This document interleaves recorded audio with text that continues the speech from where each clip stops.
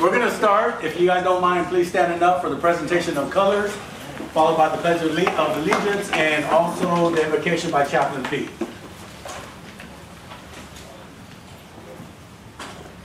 Stand by. On guard. Hook. Carry. Cover. Ready. Cut. Forward. March.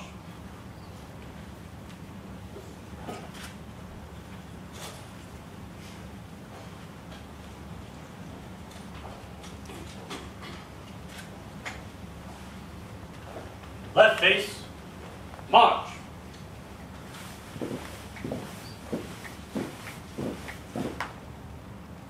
All uniform personnel, present arms.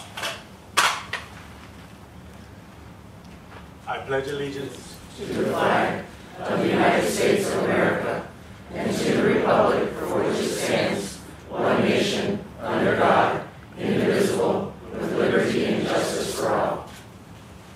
Order.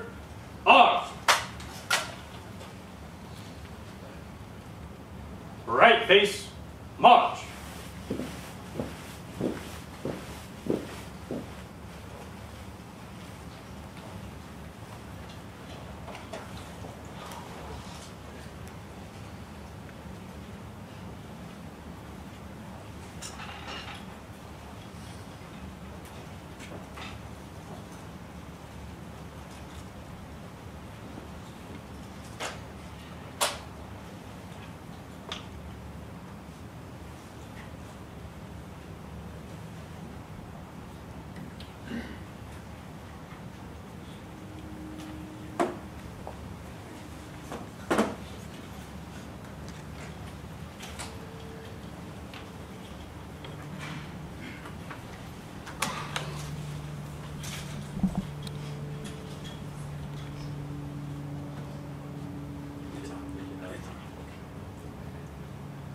Good afternoon. I'm Chaplain Pete Sudi, and I'm honored to write for Chief Pridgett's promotion and swearing-in ceremony.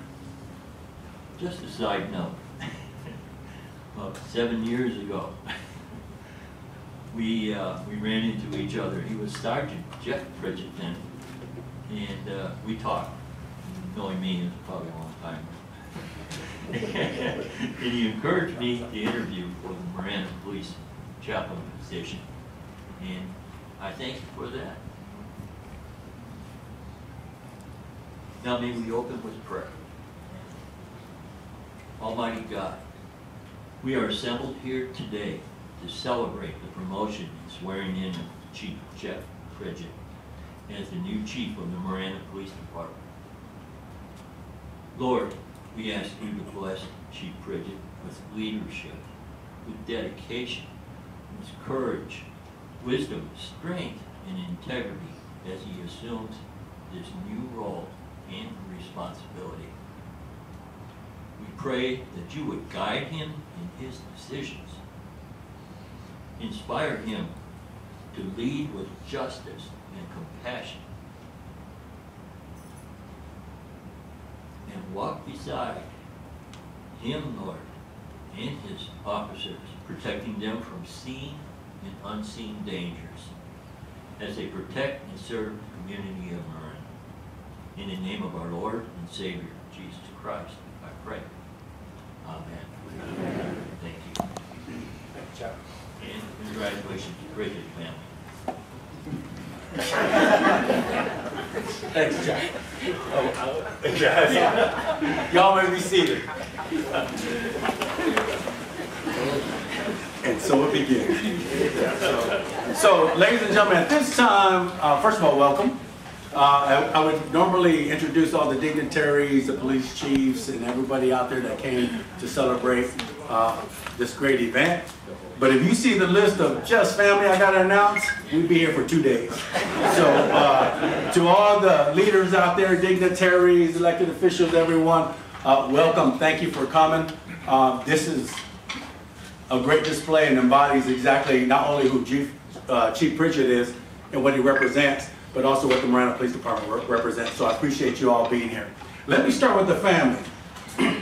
We're gonna start with Mom Dorothy Perry. You give a round of applause for Mom.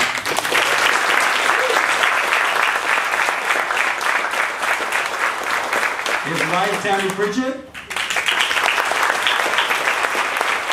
And I'm just gonna do this, man. His three GQ sons, you gotta stand up real quick. Stand up, I'm telling you right now.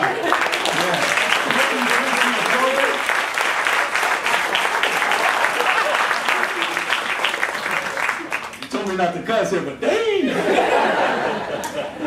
We have, uh, and I'm, you don't have to keep clapping on this, I'll put it all together, how's that sound? All right, let me throw them all out here. Uh, the Lucille, Pauline, Judy, and Judy. Uh, we have cousin Kelly Berry with his daughter Braden. We have uh, in-laws Pat, sister-in-law, uh, and brother-in-law Tracy and Steve. We have niece Deja, and we have cousins Dinell and Paula. Them? Anybody else? Yeah, I think it's about right. Cousin Shad? That was the hardest part of today, ladies and gentlemen, is throwing that on out. So, um, welcome. It is a great day at Marana Police Department, ladies and gentlemen. Well, okay, you.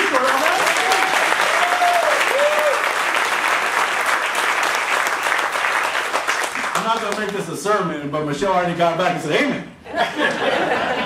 I had the honor and privilege of standing up here once before for Jeff when he promoted to lieutenant. And I still remember uh, the words that were said even back then. And there were two traits that came back on Jeff over and over and over again when we did that presentation. And there was one that he is honest and he is fair. And that's something everybody will agree with about Jeff. Honest and fair. Now that wasn't just his family or his friends talking. That literally came from his peers, from the people he supervised, from the command staff. And he didn't learn that at the police academy. He didn't learn that in his 20 plus years in law enforcement. That was something that was instilled with him at a young age. The foundation of who Jeff is. And it's been a part of him and embodied him throughout his whole career. When he promoted to sergeant, lieutenant, uh, captain, and now the pinnacle man, chief of police. And that means something, uh, especially in this profession. So society, we've been taking some punches in law enforcement over, you know, the recent years. And society demands, right, that the police department gets it right. That we provide unwavering protection, unparalleled service, and to do so without compromised integrity, right? But that starts with the leader. A leader that understands the true representation of what a leader should be. One that is humble, one of high character, one that has courage and incompetent, one who knows how to cast a compelling vision and bring everybody together to work and accomplish that mission. More importantly, one that models the behavior that they set forth. Right? By his words, his actions, and even his emails. represents everything that he states, and most importantly, is able to read a room and recognize opportunities where we can make a difference. Now, that's easier said than done, but simply put, ladies and gentlemen, a true leader has the value of the people that he oversees. Now, that could be lost today on many leaders, uh, and you guys probably could name a few out of your own history and what you see in politics and the news today, but it's not lost on Jeff Pridgett. This is a special day. It is a great day at Marana PD. We appreciate you all being here, representing, supporting uh, uh, not only the police department, but your success. Congratulations, my brother. Proud of you.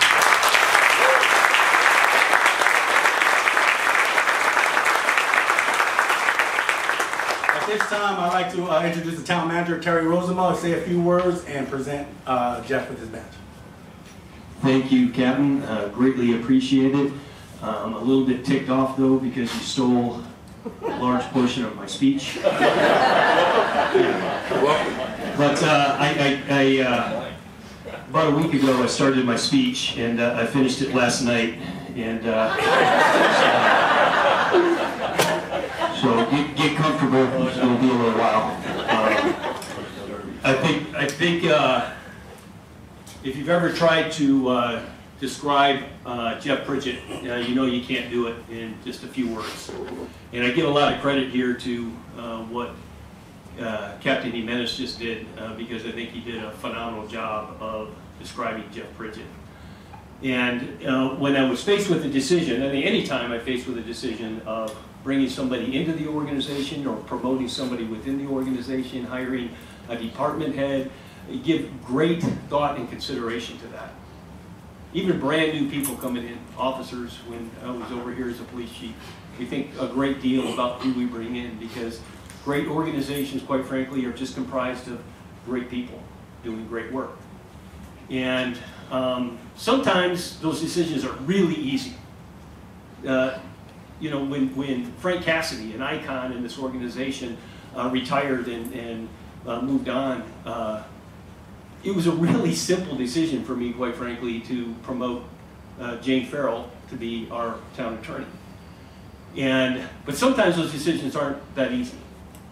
I, I can tell you without hesitation that promoting this man over here, Jeff Pridgett, to the position of police chief was a no-brainer for me. And uh, it is a history-making day. Where's, where's our historian, our new historian? Uh, right back there. It's a history-making day, Joe. Making note of that, right? It's a history-making day for a number of reasons. And this, this organization has been around quite a long time. But this is the very first time that this organization has had a person that started in this organization and rose through the ranks and became its police chief. And that's no small accomplishment.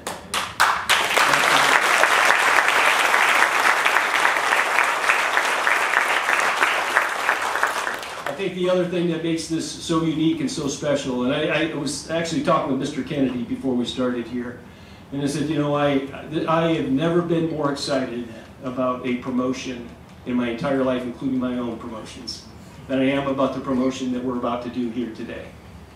Because this is a this is a, a guy, a young man, a kid who grew up in this community just a mile down the road. And he went to Estes Elementary and he went to Marana Middle School and uh, he went to Marana High School, and went to the University of Arizona, and he met his uh, beautiful wife Tammy here in, in elementary school, middle school. When did you, put a? Middle school. You got married out behind the out behind the comics uh, boxes back there or something, right? Has three amazing young men here as his children growing up in this community. And Jeff has amazing, and when I think about what, what do I need in a police chief, you need, you need a chief who has connections in the community and who's going to be relatable to the community. Check that box because that's Jeff Pridgett, right? I mean, if anybody has it, there's no, I don't think even the mayor, where's the mayor? Over here? I don't even think the mayor knows as many people as Jeff Pridgett in this community. In fact, some people, some people refer to him as, as the mayor of Marana. I know that hurts your feelings, Mr. Mayor, but. But it's true. Jeff, Jeff has grown up here. He has amazing, has built amazing relationships in this community. That's a huge part of being a police chief is being able to connect with your community and have those uh, relationships. Uh, you know, the captain hit on it. Captain Jimenez hit on it uh, when he talked about you know the integrity. You know, what do you need to be a police chief? You need to be a person of high integrity, high character, high, high morals and, and standards, high expectations. And uh, when I go down the list, check, check, check, check. It's Jeff Pridgett, right? And, and when I think about the other things, being relatable and having people, you know, being able to relate to other people, it doesn't matter who you are. It doesn't matter to Jeff Pridgett whether you live in a $3 million mansion on the top of Dove Mountain or whether you live in a cardboard box in the middle of the Santa Cruz River. Jeff Pridgett can relate to you. He can interact with you. He can treat you with fairness and dignity and respect, right? Um, so it, it is just an unbelievable honor for me because when I came here uh, to this town, uh, my thought process from the beginning is we need to raise up somebody from within this organization to take over as police chief. And uh, I didn't do it as the police chief, um, but to be able to do it now as the town manager, Jeff, I, I got to tell you, man, it, it warms my heart, uh, makes me so happy, makes me so proud of you. Uh, when, I, when, I got here, you were an, a motor officer. 13 years later, man, you were the police chief. And congratulations to you, dude. I mean, along the entire way, you have proven yourself to be caring, compassionate, competent, all of the things that, that we need to have in, in our police chief. And uh, I'm just so proud. And I will tell you guys that throughout my career, I have witnessed this. And this, this, is, this is not a, a theory, it is an absolute truth. That an organization ends up taking on the qualities and characteristics of a leader of that organization. And, and they, will, they will interact with others based on the way their leader interacts with them as a whole. Right? And the reason I point that out is because with Jeff Pridgett as our police chief, and I know this has been the case for a long time with, with our folks, but he's going to take it to a whole new level in terms of the way our police department and our police personnel uh, interact and relate to this community. So I uh, just want to thank you, Jeff, for the work that you've done for the last 20 plus years uh, as a member of the town of Marana and the Marana Police Department, and for the work that you're going to do for the next 20 years as police chief. Yes. 2044. So it's not that far away. It seems like it, but it goes goes fast. This month is not slow. This this month is not slow. So at this time, uh, I would like uh, Jeff uh, to come on up, and I would like to invite Tammy uh, over here. And they are going to do the badge pin.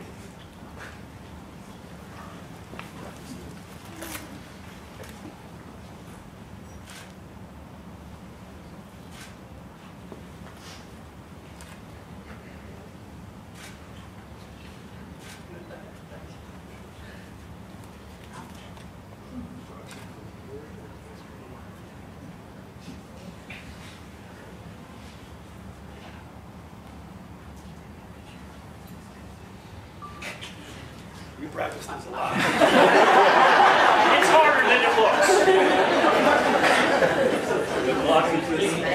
You want to start that shiver? Make a note, we'll do Velcro from now. on. Okay. Any more rel- any more relatives here?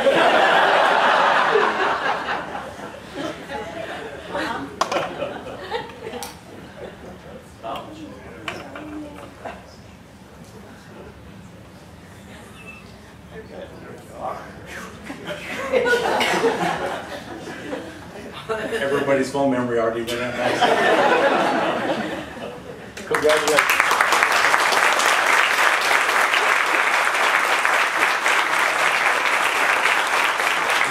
Not official yet, but then we swear them in. So Town Clerk, Mr. David Udall, if you would please come up so we can swear in the new Chief of Police.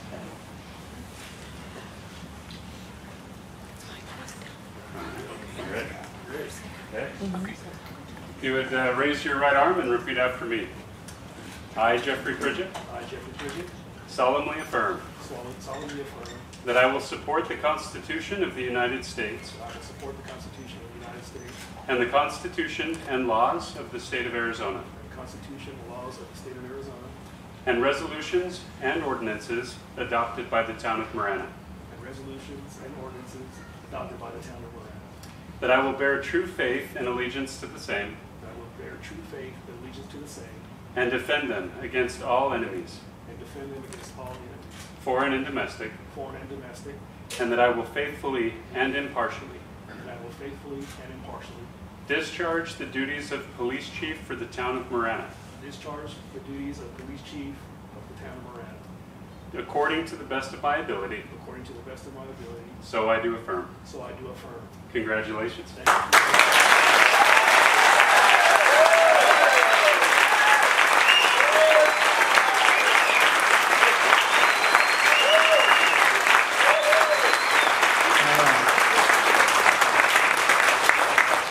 We have another special presentation. So Mama Dorothy. delete, delete, delete. I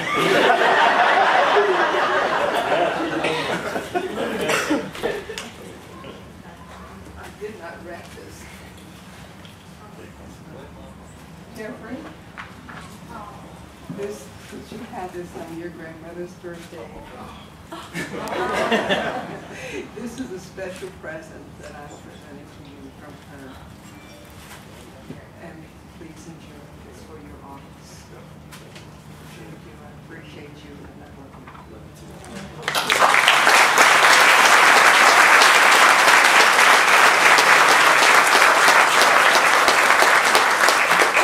Well, everybody wipes away some tears. We're gonna show a video real quick. I've known Dorothy just as long as I've known Jeff, pretty much. We've met at Marana Middle School in 1989, and we've dated throughout the years, and we got married in 2003. We have three boys. We have an 18-year-old, a 14-year-old, and a 12-year-old. Two decades and three kids later, Tammy, with her mother in law by her side, is now preparing to watch her husband take on a new role Chief of Police for the town of Marana. He's so good at what he does. He generally cares, and he cares about his people. He always has. He cares about the community. A community he grew up in, and one he's served since the beginning of his career in law enforcement. He will help anybody with anything they need. Jeff's mother, Dorothy, agrees. She says her son has always been a leader, ambitious, enthusiastic about life and the people around him. He had some very nice mentors that helped him along the way, and I thank God for where he is today and the type of person that he is. And the other thing I admire about he never stepped on people to get to where he wanted to go. But he would help people along the mm-hmm. way and help them achieve as much as they could. As for the Marana community, Dorothy says to trust the future of their town is in good hands. I think he's a fantastic person. I think he'll do a wonderful job. And I don't think he takes anything for granted as far as this position or anyone that works on the police force. Everybody is important to him as an individual. Welcome, Chief Pridgett. We are all wishing you the very best as you embark on this new adventure.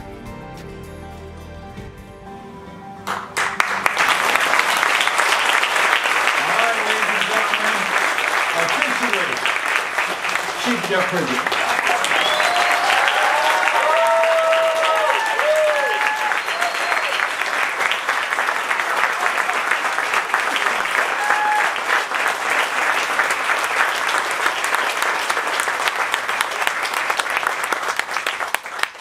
So, just want to take a second to thank uh, everybody for coming out today and uh, for acknowledging and celebrating this promotion with me. Um, you know, I really want to thank my mom. She's always been, you know, the backbone of our family, great supporter for me, um, great, great role model, always worked hard. Uh, my beautiful wife, Tammy, always been there for me, uh, especially recently, being a, a great sounding board. And of course, my three boys. So, a little bit about that video. The first day that I get back and we have our first admin team meeting, I see Zach and Amanda in here. This is Zach here to my left. But they usually, they never show up to meetings. I'm like, something's going on. So I go to Roberto and I'm like, what are they doing here? He's like, oh, we got a surprise for you. And lo and behold, they play that video. So you can imagine how emotional I was after they showed that. You know, the beautiful words from my mom, my wife, and then they had to show those photos of when I was a little kid. and that's when it really went downhill for me. hey, look at my boys, I'm like, don't cut your hair.